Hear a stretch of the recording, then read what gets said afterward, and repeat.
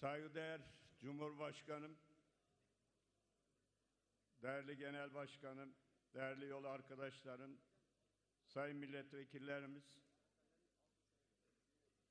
hoş geldiniz, sefalar getirdiniz. 27. dönem AK Parti ilk grup toplantısının açılışını yapıyorum. Toplantımızın hayırlara vesile olmasını Cenab-ı Mevlam'dan niyaz ediyorum.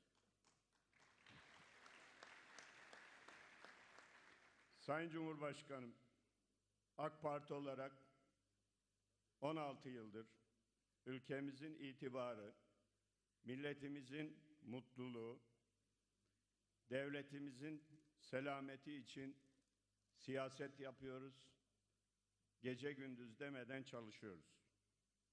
Liderliğinizde omuz omuza verdik ve birçok zorluğu aşarak bugünlere geldik. Her zaman milletimizin emrinde olduk, ülkemizin hizmetinde olduk. 24 Haziran'da yapılan Cumhurbaşkanlığı ve milletvekilliği seçimleriyle birlikte Türkiye'de 16 Nisan halk oylaması sonucu 95 yılı bulan yönetim sistemi sona ermiş.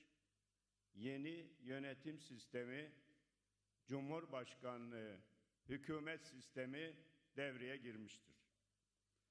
Zat haliniz Genel Başkanımız ve Cumhurbaşkanımız olarak Cumhurbaşkanlığı sisteminin ilk kurucu Cumhurbaşkanı olarak milletimiz tarafından seçildiniz. Tebrik ediyorum. Yeni dönemde Allah yar ve yardımcınız olsun. Allah muvaffak etsin.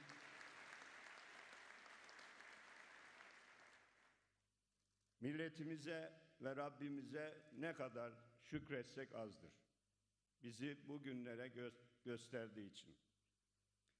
Milyonların gönül dinini, rızasını aldık. Kara propagandalara asla boyun eğmedik. Çok zor imtihanlardan 16 yıl boyunca yüzümüzün akıyla çıktık. Davamızı, siyasetimizi asla zaafa uğratmadık.